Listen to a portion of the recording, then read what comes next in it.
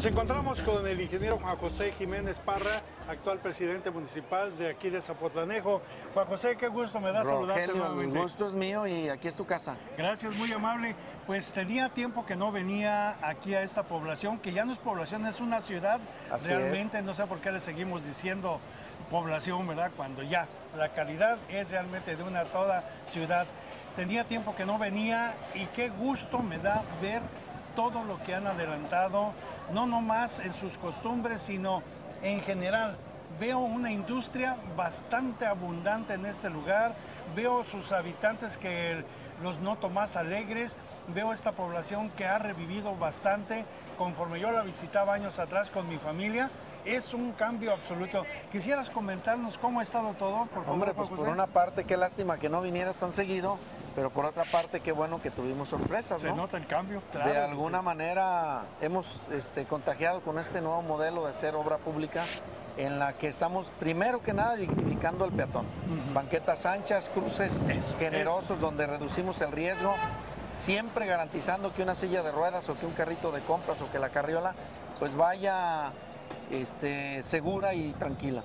Porque anteriormente pues teníamos ese revoltijo que se da en las calles de que el vendedor ambulante, la bicicleta, la motocicleta, el peatón, porque las banquetas no servían. Ahora no, un lugar para cada cosa y cada cosa en su lugar. Oye, Juan José, ¿no tuvieron problemas con la población cuando ustedes ampliaron las banquetas? Que esto obviamente pues hizo que el tránsito sea un poquito más lento, ¿verdad? Pero hay veces que hay lugares en donde empieza a renegar la gente, etcétera y todo. Veo yo aquí que no oigo mucho el claxon, que haya desesperación, eh, veo la ausencia de semáforos, cosa que realmente es muy bonito eso, Juan José. Mira, afortunadamente la gente ha respondido muy bonito aquí al gobierno municipal en varios temas. Sí, de primero decían, oye, ¿qué es eso? Pues unas isletotas enormes y todo. Déjenme terminar. Ya cuando colocamos la banca, el arbolito, pues otros más decían, oye, yo también quiero banca, yo también quiero árbol. Pues acá no se va a poder porque la banqueta quedó angosta. Sí. Te agradecemos Al muchísimo. contrario, aquí es tu casa. Muchísimas Te gracias. invitamos cuantas veces gustes. Gracias, les invitamos a que no se separen del televisor porque todavía tenemos cosas de interés de esta hermosa ciudad de Zapotlanejo.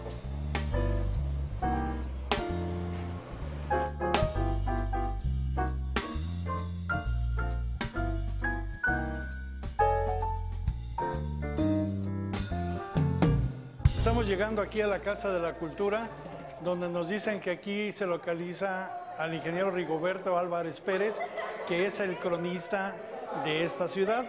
Vamos a tratar de verlo con el fin de poder platicar con él y tener algunos datos que están relacionados con la historia. Estoy viendo que aquí está ahorita coordinando algunos de los adornos florales que se van a llevar a cabo para esta noche en que se va a inaugurar la exposición y el altar de muertos. Aquí veo que está Rigoberto, ¿cómo te va? Bien, bien, Rogelio. Me da mucho gusto saludarte. Y a mí también. Él es el ingeniero Rigoberto Álvarez Pérez, quien es el cronista de que les estaba hablando hace un momento. ¿Y quién mejor que él, que tiene toda la historia en mente de esta ciudad de Zapotlanejo? Porque yo ya no le quiero decir pueblo, esta es una ciudad. Eh, ¿Qué mejor que él nos va a hacer el favor de orientarnos, acompañarnos y asesorarnos con respecto a lo que estoy comentando? Rigoberto, pues me da mucho gusto saludarte. Veo que me da mucho gusto ver que mantienen la tradición con motivo del Día de Muertos, algo que es muy hermoso. ¿Me quieres comentar algo más al respecto? Sí, claro, bueno, en Zapotlanejo hacemos el, el altar de muertos y la conmemoración al día, eh, pues, de manera intensa, muy, muy amplia. Aquí en el centro de la población se, se efectúa eh, una gran actividad y miren, aquí ya están los muchachos trabajando en esto, con las flores en pasúchil, con las cruces adornadas y todo lo que implica esta tradición mexicana. Y por cierto, el aroma tan hermoso que tiene esta flor, ¿verdad? Aunque mucha gente dice, oye, esta flor no me gusta porque huele a muerto. No, no es cierto. Los muertos huelen a otra forma, ¿verdad? Y más cuando ya se están descomponiendo. Entonces, al contrario, ojalá oliéramos de muertos cuando- como huele la flor, ¿verdad? Sería algo extraordinario. Rigoberto, eh, nosotros estamos en esta población porque estamos llevando a cabo un programa que está relacionado con la historia. ¿Quién mejor que tú, que tienes el conocimiento, para que nos pudieras orientar? Porque sabemos de antemano que Zapotlanejo tiene una relación mucho, muy estrecha cuando se estaba llevando a cabo la independencia de México.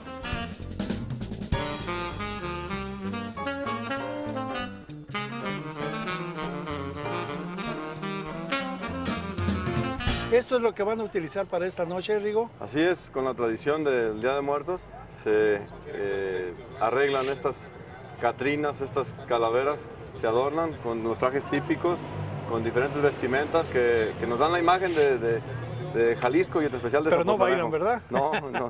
no bailan, muy bueno. Por cierto, mira, quiero aprovechar atrás, veo, estoy viendo un escudo de armas que creo que es el de aquí de Zapotlanejo.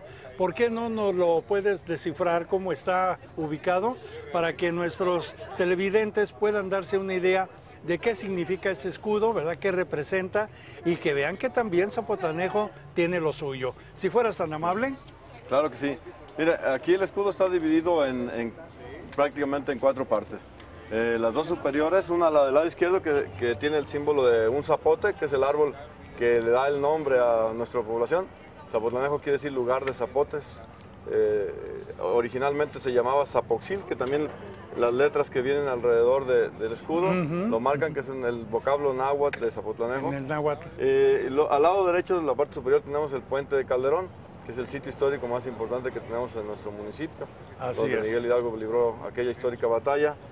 Y bueno, del lado izquierdo en la parte inferior tenemos la imagen de, de Manuel Flon, el conde de la cadena, un español eh, importante, segundo más importante militar de aquella época, que un indio local de nombre Juan Terrique le dio muerte y se escondió detrás de un sabino que todavía conservamos, un, un sabino ya de, de, varios siglos. Ah, sigue todavía. Añoso, todavía en pie. Ah, caray. Y bueno, es el orgullo de Zapotlanejo porque es un, una especie de héroe local que, que de alguna manera tuvo una eh, manera de desquite contra la batalla de Hidalgo, unas horas después de, de que aquello se celebró. Bueno, el indio Juan Terríquez escondido detrás de un árbol, le mató de un flechazo a Manuel Flores. Que fue muy certero, ¿verdad? Muy Según certero. eso, pegándole en el corazón Así y es. cayendo luego, luego. Inmediatamente. ¿verdad? Veo que enseguida sigue otra cosa. ¿Qué es? Sí, del lado derecho tenemos la imagen de los cañaverales. Antiguamente en Zapotlán, antes de consolidarse como, como un lugar de la industria del textil. Del textil, era este, cañero. Era un pueblo cañero, sí. Había muchos trapiches aquí en el lugar.